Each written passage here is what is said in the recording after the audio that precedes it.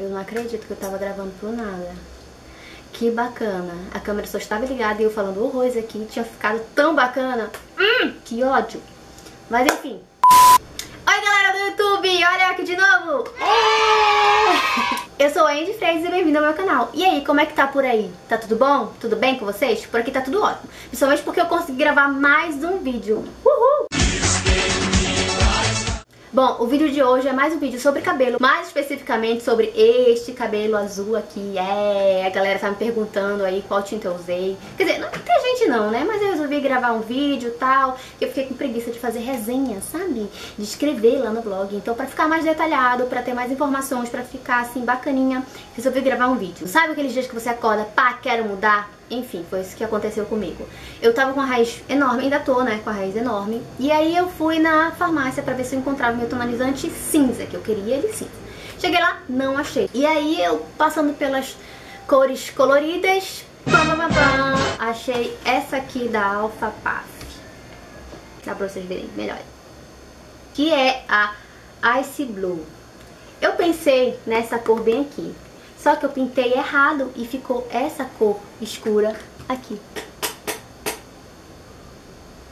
O meu cabelo tava bem claro mesmo. Vou botar uma foto, deixa eu vir pra cá. Uma foto bem aqui pra vocês verem como que tava o meu cabelo, tá? E aí, nesse belo dia, resolvi fazer a teste de, o teste de mecha. Fiz o teste de mecha, inclusive postei até no Snapchat. Ficou bem clarinho, porque eu passei bem pouquinho. É, pra quem não me segue, me segue aí, porque eu dou dicas legais também lá pelo Snapchat.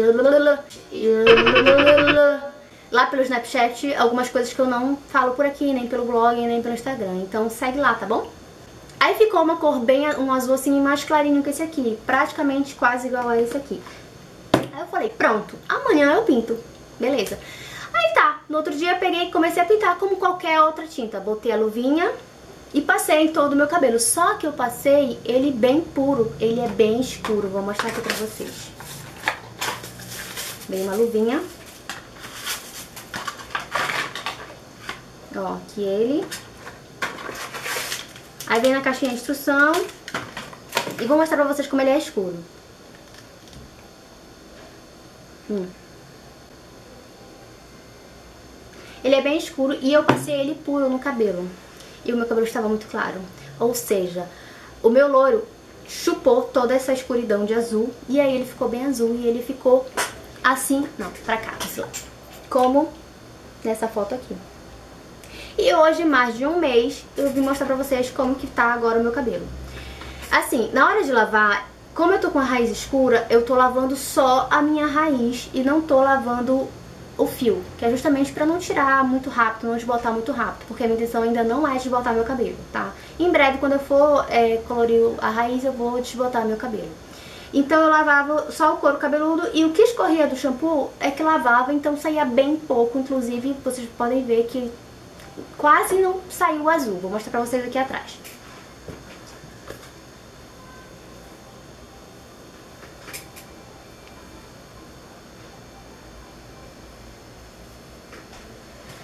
Deu pra ver? Não sei se deu pra vocês verem, mas tem umas partes que estão um pouco verde e tem outras que estão azul. As que estão azul era o cabelo mais claro, ou seja, bem platinado, então ele chupou muito azul. E o que tá verde era o que tava menos claro, então não pegou tanto a, o azul, né?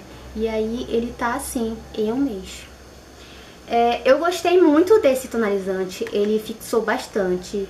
Inclusive eu tentei fazer um negócio de shampoo pra tirar aqui na franja, mas eu não consegui. Eu tô, tô achando que eu vou ter que fazer aquele salt, salt, salt cap, não sei, não, não lembro o nome. Que é shampoo OX, mas é, é pó descolorante pra poder tirar, porque eu acho que eu vou tirar o da franja e deixar mesmo só o cabelo. E o que eu mais gostei disso aqui, além de fixar legal, é que ele não tem amônia, não tem peróxido. E ele é uma coloração com pigmentos condicionantes. Ó. E assim, gente, a Alpha Puff, ela é ótima, é uma marca muito boa, não é tão cara e é excelente. Ah, e eu comprei ele a R$15,99, 16 reais, e eu usei a metade. Ou seja, se eu quiser usar de novo, eu posso usar tranquilo, que eu acho que ainda vai sobrar produto pra usar uma terceira vez. Mas pelo que eu tô vendo, vai demorar pra eu, pra eu precisar usar, porque a cor ainda tá muito forte e eu gostei muito disso. Ah, imprescindível. O teu cabelo tem que estar tá descolorido para poder pintar, de, acho que para poder pintar de qualquer cor, né? É, a rosa, roxo, azul etc, verde. É, o meu tava bem descolorido, então ele pegou legal, como eu falei pra vocês. Acho que não tava muito descolorido, não pegou muito. Qualquer dúvida, deixa aqui no box de informação, tá bom? Que eu vou responder vocês.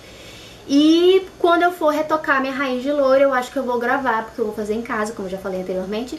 E aí eu mostro tudo pra vocês. E se eu for tirar essa cor, eu também vou gravar, vou mostrar pra vocês. Vou procurar um, uma forma bem legal que não agrida muito o cabelo, tá bom? Aí eu quero pedir pra vocês, pra vocês se inscreverem no canal, pra vocês receberem a notificação. E se você se inscrever pelo celular, clica em ativar os, o, o, as notificações para chegar lá no seu feed, tá bom? E se você se inscrever pelo computador, clica no sininho lá no meu perfil para chegar também as notificações, tá bom? Clique em gostei para eu saber que vocês gostam desse tipo de vídeo, tá? Para ajudar o canal também. É, e compartilha com alguém se vocês quiserem também, né? Não sei. E deixem sugestões aqui, por favor, do que vocês querem, porque às vezes eu faço uma coisa, a pessoa gosta, às vezes eu faço outra, não tem muito público, enfim. Então não vou ficar fazendo vídeo à torta e à direita que não tem muita audiência, né? Tá bom? Então, um grande beijo e até o próximo vídeo. Tchau! Espero que vocês tenham gostado desse vídeo, tá? Porque tá muito quente, tá muito calor, caso não estão entendendo.